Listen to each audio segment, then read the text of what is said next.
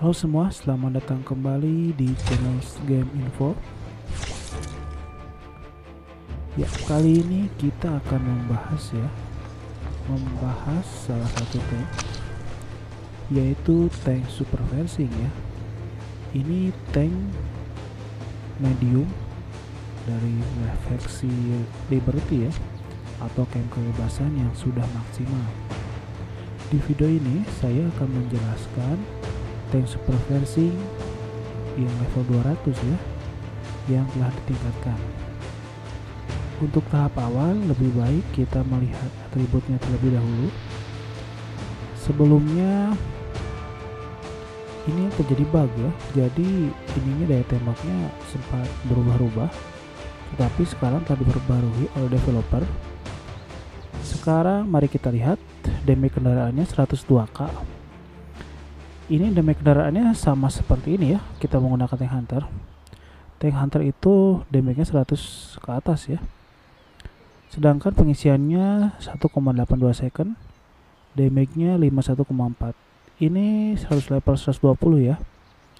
Sekarang mari kita menaikkan tank super versing tersebut ke level 200 ya tunggu sebentar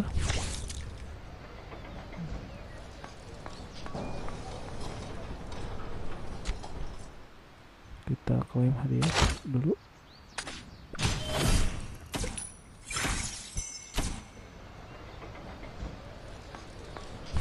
Belum muncul.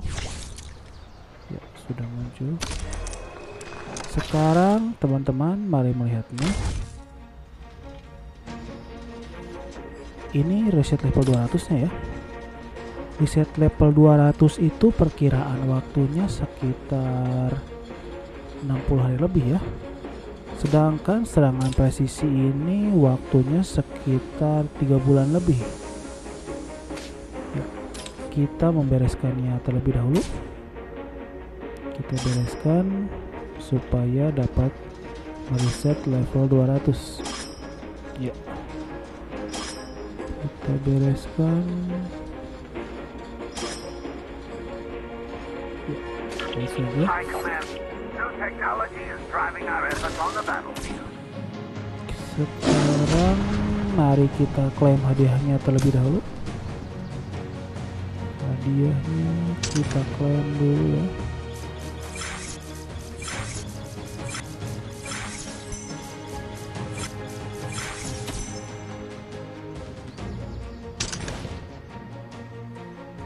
Ini sepertinya akan full. Ya, kurang dikit.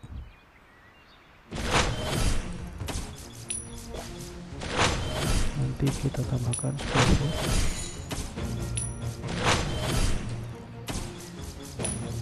Kemudian kita yudidiksinya. Kita ambil.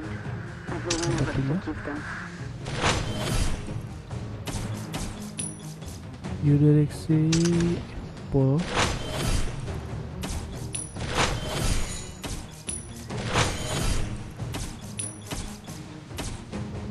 Dan untuk selanjutnya mari kita tingkatkan tank ini ya. Tank super versinya tapi tunggu dulu sebentar. Saya akan mereset yang selanjutnya.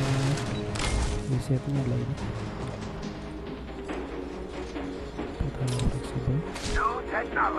Supaya lebih kuat daya tahannya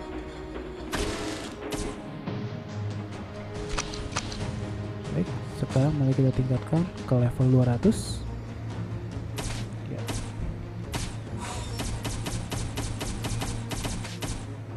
mari kita tingkatkan 140 ya naik tingkat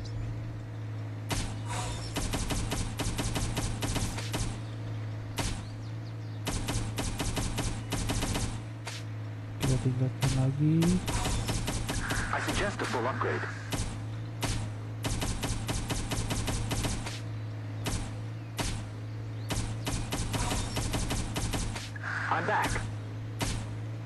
Ya, 200 99 200 Sudah selesai, ini sudah mencapai level 200 Mari kita lihat tingkatannya Yang terbuka apa Ya, terbuka semua ini dari kedalaman cangkang, daya tahan, daya tembak, kecepatan dan lain-lain.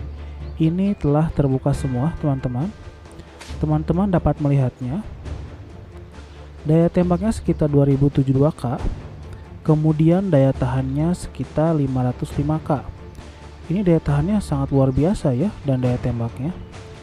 Untuk selanjutnya kita mari lihat ya atributnya. Damage kendaraannya 148k.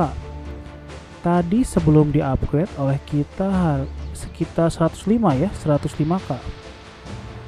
Damage-nya sebelumnya sekitar 51k, sekarang menjadi 74,1k. Oh, sangat besar sekali ya.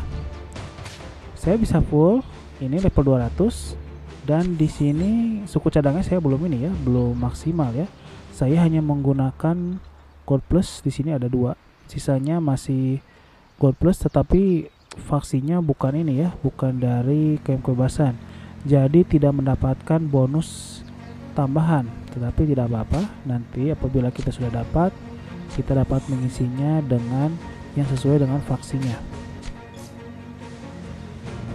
Thank you for the flower, but I'm not young anymore. Dan kemudian apabila teman-teman ingin melihat berapa yang dibutuhkan untuk mencapai level 200 amunisinya, mari kita lihat terlebih dahulu di sini. Kita mari coba menyingkirkan dulu ya, singkirkan dulu ya. Mari kita lihat di sini. Ya, kebuang ini. Ya, kita ini ya ini sebuah versi jadi teman-teman dapat melihatnya.